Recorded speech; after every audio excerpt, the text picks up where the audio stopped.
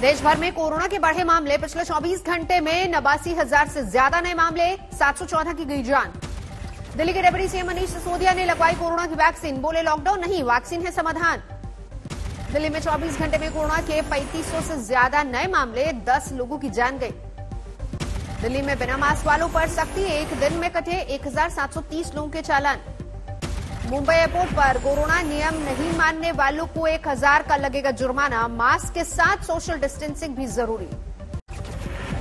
महाराष्ट्र में 24 घंटे में उनचास हज़ार से ज़्यादा लोग कोरोना पॉजिटिव। मुंबई में कोरोना के 9000 से ज़्यादा नए मरीज़ 27 लोगों की जान गई।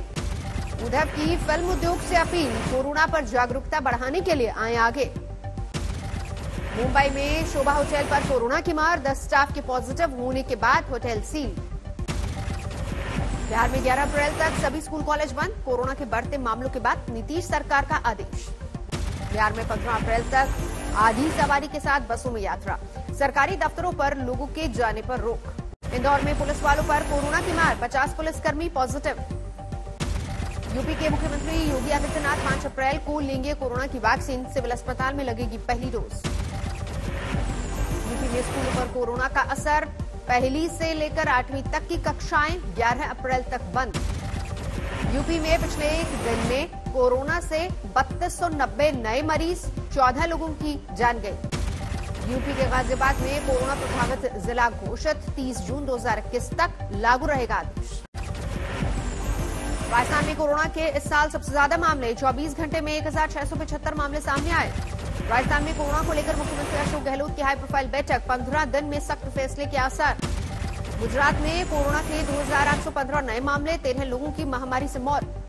चुनाव वाले तमिलनाडु में एक दिन में करीब साढ़े तीन हज़ार नए केस अकेले चेन्नई में तेरह सौ मामले। पंजाब में वैक्सीनेशन में तेज़ी लाने के निर्देश राज्य के मुख्य सचिव ने इसी महीने 45 साल से ऊपर के लोगों का टीकाकरण करने को कहा।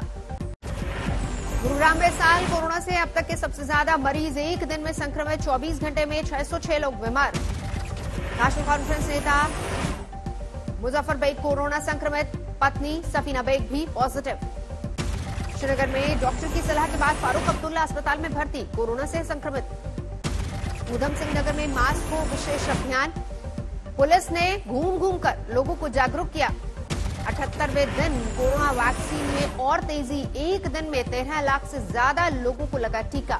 कल चुनाव में एक और ऑडियो बम फूटा बीजेपी का ममता बनर्जी और उनकी सरकार पर गंभीर आरोप। बीजेपी के ऑडियो टेप में कोयला तस्करी के आरोपी अनु माझी के करीबी गणेश बागड़िया और सरकारी अफसर के बीच बातचीत। माझी के करीबी गणेश बागड़िया और सरकारी अफसर की बातचीत में ममता के भतीजे अभिषेक बैनर्जी का ज़िक्र। हर महीने पैंतीस करोड़ पहुँचाने की बात। के दावा टेप में रिश्वत को सियासी बॉस तक पहुँचाने का भी ज़िक्र। आज तक इस ऑडियो टेप की पुष्टि नहीं करता। बीजेपी के ऑडियो बम पर टीएमसी ने साधी चुप्पी। अब तक कोई प्रतिक्रिया नहीं आई। पश्चिम बंगाल में प्रधानमंत्री मोदी का बड़ा बयान बीजेपी की सरकार के शपथ ग्रहण समारोह में होंगे शामिल। और जब भाजपा के मुख्यमंत्री के बंगाल में भाजपा की सरकार का शपथ समारोह होगा उस दिन मैं ज़रूर आऊँगा। ममता के वाराणसी से चुनाव लड़ने के बयान पर प्रधानमंत्री का तंज कहा काशी का दिल बहुत बड़ा है आपको टूरिस्ट गैंग नहीं कहेंगे।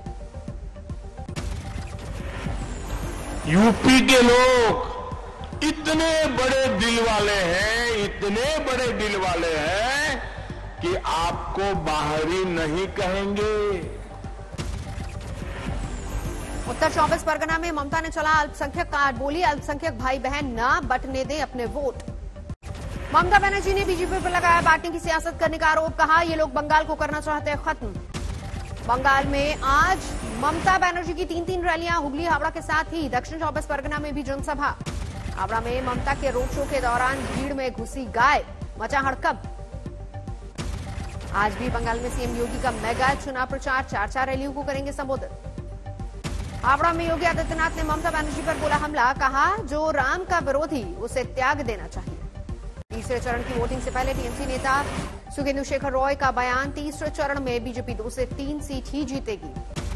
चुनाव प्रचार के दौरान तृणमूल कांग्रेस प्रत्याशी शंबाधारा पर हमला। पाँच बीजेपी के कार्यकर्ता हिरासत में। बांकुड़ा में बीजेपी दफ्तर में लगाई गई आग। एक कार्यकर्ता भी घायल। टीएमसी पर आरोप। शारदा केस में तीन करोड़ की संपत्ति जब्त। ईडी ने टीएमसी के दो नेताओं की संपत्ति जब्त की। टीएमसी के पूर्व सांसद कृणाल घोष की संपत्ति जब्त, सांसद शताब्दी रॉय की भी संपत्ति की गई सीज। असम के दामुलपुर में बोले प्रधानमंत्री मोदी सेकुलरिज्म कम्युनलिज्म के खेल से देश को नुकसान। आज मिशन असम पर अमित शाह। तीन रैलियों को करेंगे संबोधित। हेमंत बिस्व शर्मा पर बैन की समय सीमा घटी। चुनाव आयोग ने 48 घंटे से घटाकर 24 घंटे किया। हेमंत शर्मा पर बैन घटाने पर प्रियंका गांधी ने उठाए सवाल, पूछा किस दब केरल के कोझिकोड में राहुल गांधी ने किया प्रचार, रैली को किया संबोधित केरल के वायनाड में भी अमित शाह ने किया प्रचार, लेफ़्ट और कांग्रेस पर बोला हमला। जेपी नड्डा का तमिलनाडु और पुडुचेरी में तूफानी प्रचार। पूजा के बाद रोड शो से शुरुआत। पंचायत चुनाव में उतरी कुख्यात गैंगस्टर अनिल दुजाना की पत्नी नोएडा से लड़ेंगे चुनाव। हरियाणा कांग्रेस के अध्यक्ष कुमारी शैलजा ने उठाया गेहूँ और सरसों खरीद का मामला कहा, सरकार के दावों के विपरीत है अनाज मंडियों का हल। बाराबंकी में मुख्तार अंसारी की एंबुलेंस के रजिस्ट्रेशन का मामला, जाँच के लिए एसआईटी गठित। मुख्तार अंसारी एंबुलेंस कांड में डॉक्टर अलका रॉय से होगी पूछताछ। बाराबंकी से टीम मऊ रवाना। मुख्तार अंसारी की मुश्किलें बढ़ी। सामने आया एलएमजी खरीदने की बात करने वाली फ़ोन डिटेल। शरद पवार को अस्पताल से छुट्टी, महाराष्ट्र के मंत्री नवाब मलिक ने ट्वीट करके दी जानकारी। जौनपुर में पूर्व मिस इंडिया दीक्षा सिंह पंचायत चुनाव में गाँव गाँव में कर रही प्रचार। छत्तीसगढ़ के बीजापुर में नक्सलियों से मुठभेड़, बारह नक्सली ढेर, करीब पंद्रह घायल। नक्सलियों से मुठभेड़ में पाँच जवानों का बलिदान, बारह घायल, रायपुर किया गया शिफ्ट। शोपिया में भागने में कामयाब हुए छह से ज़्यादा आतंकी, सूत्रों के हवाले से खबर, शुरुआती फायरिंग के बाद भागे आतंकी। एंटीलिया मामले में सचिन बाजी के साथ अप्रैल तक बड़ी कस्टडी एनआईए कर रही है पूछताछ। राकेश टिकैत पर हमला मामले में किसानों का बड़ा प्लान आज गाजीपुर बॉर्डर पर करेंगे बड़ी मीटिंग। बिहार के मधुबनी में पाँच लोगों की हत्या पर आरजेडी ने नीतीश सरकार को घेरा, बिगड़ती कानून व्यवस्था पर उठाए सवाल। मधुबनी हत्याकांड पर आरजेडी नेता तेज प्रताप ने सीएम नीतीश कुमार पर साधा निशाना ट्वीट करके कहा, बहरा गूँगा, अंधा। मधुबनी में पाँच लोगों की हत्या पर नीतीश सरकार के मंत्री भी भड़के। नीरज बबलू ने पुलिस को, पुलिस की लापरवाही बताया। कहीं पुलिस के निकम्मापन की वजह से ऐसा घटना, घटा है और अभी तक पुलिस के ऊपर कोई कार्रवाई नहीं हुई है। ये भी दुखद बात है। पटना के पीएमसीएच में मरीज़ की मौत पर हंगामा, अस्पताल के गार्ड और मृतक के परिजनों में मारपीट। सुसाइड से पहले सोशल मीडिया पर डाला वीडियो। बताया अपना दर्द, सास, ससुर और ताऊ के लड़के को बताया मौत का जिम्मेदार। बीजेपी नेता और पड़ोसी के बीच मारपीट का वीडियो हुआ वायरल। पुलिस ने दोनों तरफ़ से दर्ज की एफआईआर। महिला को घर में घुसकर चाकू से गोदा, पति ने लगाया अकेली देख बदतमीजी का आरोप। पुलिस जाँच में जुटी।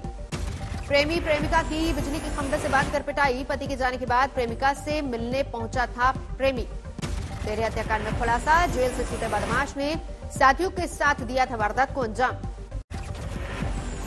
बिहार के नवादा में अवैध शराब पीने से मरने वालों की संख्या बढ़कर पंद्रह हुई। 155 लीटर अवैध शराब के सात लोग गिरफ़्तार।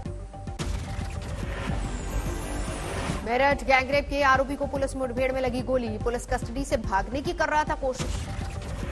सुरंग बनाकर करोड़ों की चांदी चुराने वाला पकड़ा गया जयपुर में महीने भर बाद हुई गिरफ्तारी।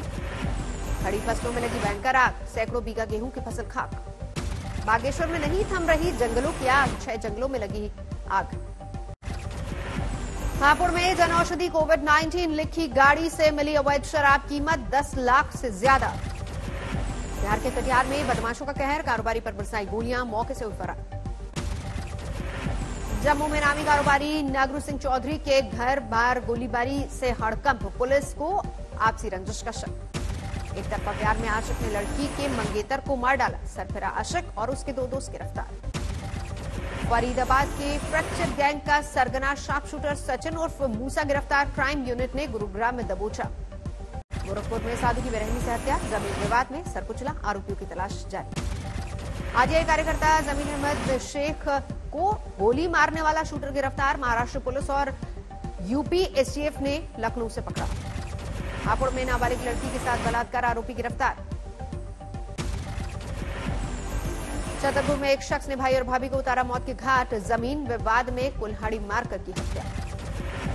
अमृतसर में डिपार्टमेंटल स्टोर में नौकर को गोली मारने वाले तीन बदमाश गिरफ़्तार। लूट के इरादे से की थी वारदात। वानखेड़े स्टेडियम के आज स्टाफ को कोरोना बदल सकती है, आईपीएल मैचों की जगह।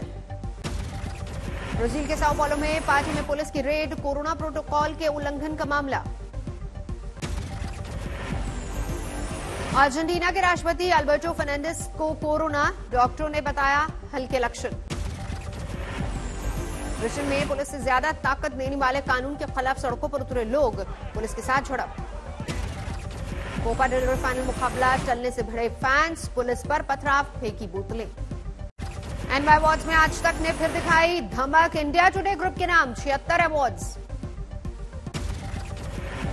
कि आज तक ने एनबा अवार्ड्स में 76 ट्रॉफीज जीती हैं।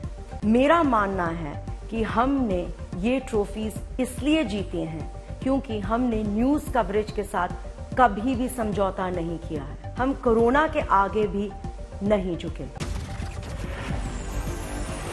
आज तक को बेस्ट हिंदी न्यूज़ चैनल का अवार्ड सुप्र प्रसाद को best news director of the year का सम्मान। आज तक के एंकर सईद अंसारी को बेस्ट एंकर का अवार्ड डिजिटल में। अंजनाम कश्यप को भी बेस्ट एंकर का सम्मान। आज तक की एंकर श्वेता सिंह ने एनबर के तीन अवार्ड्स अपने नाम किए। दंगल फेम रोहित सरदाना को बेस्ट टॉक शो का अवार्ड